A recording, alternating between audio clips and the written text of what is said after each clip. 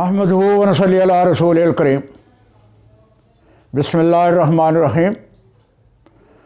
السلام علیکم ناظرین. آج کا ہمارا موضوع ہے کہ والدین اپنے کمانے والے بیٹے کے خلاف نان نفقہ کا دعویٰ کر سکتے ہیں۔ لہذا اس سلسلے میں میں آپ کو کچھ نظائر بھی پیش کروں گا۔ لہذا اب یہ ذہن میں رکھیں کہ ایسا کوئی بھی شخص جس کے والدین زندہ ہوں اور وہ کمانے والا ہو لیکن اس کے والدین کی آمدنی نہ ہو، تو والدین اپنے بیٹے کے خلاف یا اپنے بیٹوں کے خلاف جو بھی صورت ہو، اگر ایک ہی بیٹا ہے تو ایک بیٹے کے خلاف، دو ہیں تو دو کے خلاف، تین ہیں تو تین کے خلاف، چار ہیں تو چار کے خلاف، اگر دس ہیں تو دس کے خلاف ان کے خلاف وہ دعویٰ نان نسخے کا کر سکتے ہیں۔ اور وہ دعویٰ ایک ہی دعویٰ اکٹھا ہوگا۔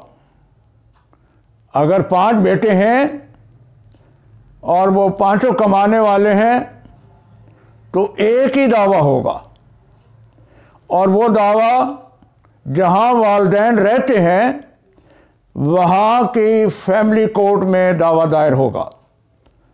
دعویٰ یقیناً سینئر سول جج صاحب کے پاس جاتا ہے اور سینئر سول جج صاحب کسی بھی فیملی کورٹ میں اگر ایک سے زیادہ کورٹس ہیں تو ان کے سامنے کسی ایک کے سامنے وہ مقرر ہوتا ہے۔ عدالت بیٹوں کو نوٹس بھیجتی ہے۔ ایک ہو تو ایک کو ہی، دو ہیں تو جس طرح میں نے عرض کیا ہے۔ اور بیٹے، عدالت میں پیش ہو کر اپنی حیثیت بیان کرتے ہیں کہ وہ کس قدر یعنی کہ یقیناً والدین اپنے حساب سے دعوی دائر کرتے ہیں کہ وہ کتنے اخراجات ہر ماہ کتنے اخراجات ان کی زندگی پر اٹھتے ہیں۔ یعنی ان کا کھانا پینا ہے، رہائش ہے، کپڑے ہیں، ادویات ہیں، وغیرہ وغیرہ۔ تو وہ ڈیمانڈ کرتے ہیں کہ اتنا خرچہ ہمیں ہر ماہ چاہیے۔ اب وہ بیٹا یا بیٹے اپنی حیثیت پیش کرتے ہیں کہ وہ کیا اس پوزیشن میں ہیں کہ وہ اپنے والدین جتنی انہوں نے ڈیمانڈ کی ہے وہ پوری کر سکتے ہیں؟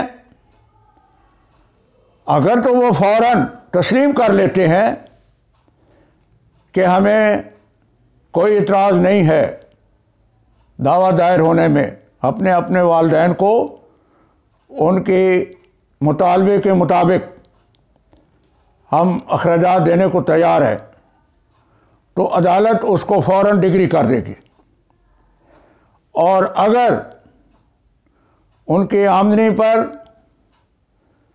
اپنے آپ کو وہ اس قابل نہیں سمجھتے کہ وہ اتنے اخراجات پورے کر سکتے ہیں جو ان کے والدین نے مطالبہ کیا ہے تو وہ بیان کرتے ہیں، جواب دعویٰ دیں گے۔ جواب دعوے کے بعد وہ ان کے درمیان وہی طریقہ ہوگا جو میاں بیوی کے اخراجات کے فیصلے کے لیے ہوتا ہے کہ مسائلتی ایک سلسلہ ہوتا ہے۔ دونوں پارٹیوں کو باہمی مساحلت کے لیے جج صاحب تیار کرتے ہیں۔ جج صاحب والدین کا بھی موقف سنیں گے، بیٹوں کا بھی سنیں گے۔ اور جہاں اگر معاملہ کہیں اطمینان بخش طے پا جاتا ہے تو ٹھیک، ورنہ عدالت تنقیحات ایشو کر فریم کرتی ہیں جن کو ہم انگلش میں ایشوز کہتے ہیں مین پوائنٹس ہوتے ہیں یعنی کہ مدعی کا دعویٰ، کیا ٹھیک ہے، درست ہے، ان کو بنایا دعویٰ ہے، کتنا خرچہ انہوں نے تسلیم کیا ہے، کتنا ڈیمانڈ کیا ہے، اور اسی طرح جواب دعوے کے مندرجات کو مد نظر رکھ کر تنقیحات مکمل وضع کر کے دونوں پارٹیوں سے پھر شہادتیں مانگی جاتی ہیں۔ والدین کی طرف سے ایک والد کی بیان ہو سکتا ہے یا والدہ کا بیان ہو سکتا ہے، کسی ایک کا بیان ہوگا اور وہ اپنا کوئی گواہ بھی دیں گے کہ کم از کم ایک یا دو گواہ دیں۔ اسی طرح بیٹوں کو یا بیٹے کو موقع دیا جائے گا کہ وہ اپنی شہادتیں پیش کریں اور یقیناً والدین نے دو چیزیں ثابت کرنا ہوتی ہیں۔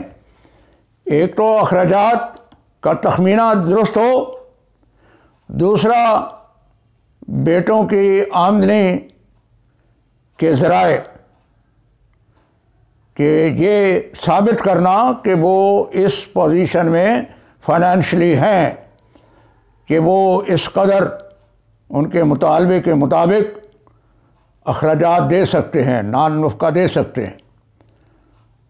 تو دونوں پارٹیوں کے اسی طرح مدالے، اپنی حیثیت، وہ اپنے اگر وہ ملازمت پیشہ ہیں تو اپنی تنخواہ کا کوئی سرٹیفکیٹ دیں گے۔ یا کاروباری ہیں، تو یقیناً کاروبار کے بارے میں والدین ہی نے ان کو بتانا ہوتا ہے عدالت کو کہ میرے بیٹے یا بیٹوں کے کیا ذرائع آمدنی ہے۔ اور فائنل دونوں شہادتوں، دونوں طرف کی شہادتوں کے بعد عدالت پھر ایک کوشش کرتی ہے کہ باہمی ریکنسلیشن ہو جائے، مسائلت ہو جائے۔ لیکن اگر ایسی بات نہیں ہو پاتی تو پھر فائنل بحث ہوتی ہے۔ اور عدالت دونوں فریقین کے موقف کو سن کر، ان کے شہادتوں کو پڑھ کر، اور ان کے وکلاء اگر ہیں تو وکلاء کی بحث سن کر وہ ڈگری پاس کرتے ہیں۔ اگر وہ ڈگری پھر یقیناً وہی عدالت اس پر عمد درآمد کراتی ہے اور اس کا طریقہ بھی یہی ہے کہ وہ ڈگری پیش کی جاتی ہے اور اگر بیٹے یا بیٹا اس سے پھر بھی لہت و لال کرتے ہیں تو ان کو نوٹس بھیجا جاتا ہے اور بلایا جاتا ہے۔ اور الٹیمیٹلی اگر خدا نخواستہ، ویسے تو چونکہ ایسا نازک یہ رشتہ ہے کہ ان کے درمیان یہ صورتحال پیدا نہ ہو، لیکن خدا نخواستہ اگر ہو جائے تو پھر یقیناً ایک پروسیس ہے، قانون ہے۔